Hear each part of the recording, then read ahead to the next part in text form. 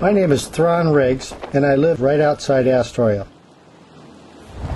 I'm a Columbia River bar pilot, and my job is to bring those ships safely across the bar and into the river. A huge percentage of the goods you find on the shelves of your local department store come from overseas.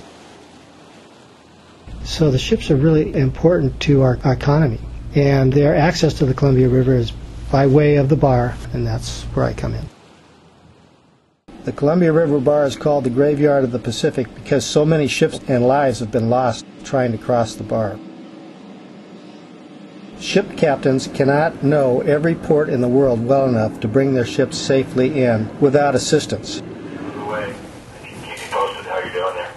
So it's my job to read the water, read the weather, read the ship, filter it through my experience, and bring the ship in or out of this narrow and often turbulent channel.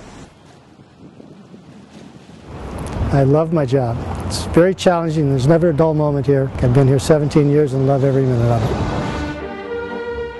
On my time off, I host a radio program, Thursday Morning Classics with Thron Riggs, two hours of the best of the best. Thanks for listening, and we'll go out with a little Brahms.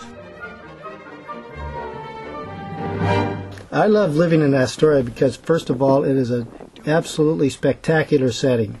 But it's also small enough so that if you meet someone on the street, if you don't know them by name, you at least recognize them. That's one thing I really love about Astoria is the intimacy of the uh, community.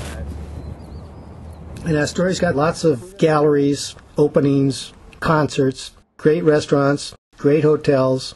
It's a vibrant community. Long time no see. Hey, Laura, how you doing?